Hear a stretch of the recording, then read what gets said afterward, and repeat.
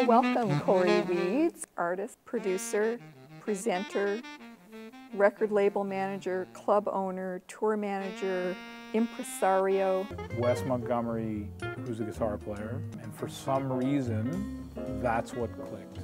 That's what made me switch. And then from there, you know, I just sort of went down sort of the rabbit hole of, of jazz, you know, Miles Davis, Cannonball Adderley, and from there I found Charlie Parker, and then it kind of just went. My dad said, if you go to music school, I'll pay for your first year. If you go to business school, you're on your own.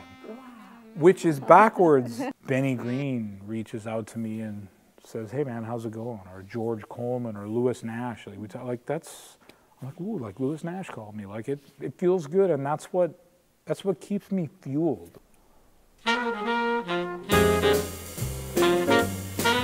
That one's, that one's easy.